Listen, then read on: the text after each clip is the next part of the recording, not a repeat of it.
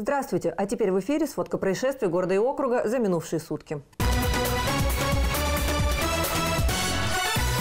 Следователи проводят проверку по факту гибели ребенка в Ноябрьске после падения из окна девятого этажа. Работает следственная оперативная группа, которой предстоит установить все обстоятельства, сообщается на сайте следкома по Янау. Трагедия произошла 11 июля по адресу Мира 80. По предварительным данным, трехлетняя девочка играла с братом. В это время окно было открыто.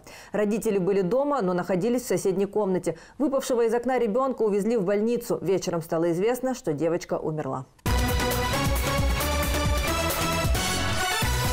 В ночь на пятницу пожар в Тюмени унес жизни трех человек. Возгорание произошло в частном одноэтажном жилом доме, расположенном по адресу Дружбы 95. На момент прибытия первого пожарного подразделения наблюдалось горение дома по всей его площади. В ходе тушения были обнаружены трое погибших. Это взрослые. Их личности устанавливаются, сообщили в МЧС Тюменской области. В Губкинском пожарные тушат полигон твердых бытовых отходов. Ситуация находится под контролем, угрозы населенному пункту нет. Сообщение о возгорании поступило после 11 часов вечера в четверг. В 2 часа 25 минут возгорание было локализовано на площади тысячи квадратных метров. Для тушения пожара были привлечены 18 человек личного состава, 6 единиц спецтехники МЧС России, а также техника и специалисты городских служб. Сегодня специалисты провели забор проб воздуха вблизи полигона и на территории ближайших жилых кварталов металлов. По данным Роспотребнадзора ЯНАО, превышений допустимых концентраций вредных веществ в воздухе не наблюдается. Ребенок попал под машину в Ноябрьске, когда переходил дорогу вне зебры. Происшествие случилось накануне около 13 часов в районе дома номер 6 на улице Космонавтов. Юного пешехода сбил автомобиль Nissan. Мальчик получил травмы, его увезли в Ноябрьскую городскую больницу.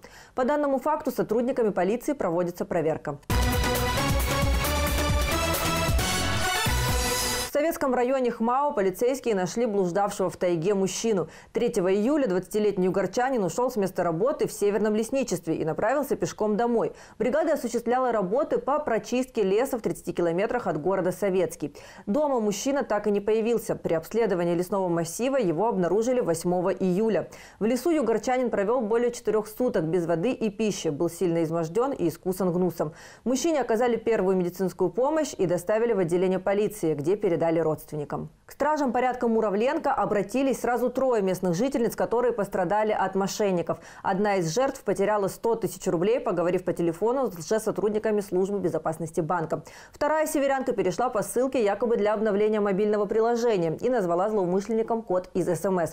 У нее со счета пропало 255 тысяч рублей. Третьей жертвой стала 40-летняя женщина, которая пыталась вернуть потраченные в мобильных играх деньги. Поверив аферистам, она лишилась 242 тысяч тысяч рублей. По всем заявлениям были возбуждены уголовные дела по статье о мошенничестве. Ведется следствие. К этому часу у меня все новости. Будьте внимательны на дорогах, берегите себя и окружающих. До встречи в эфире.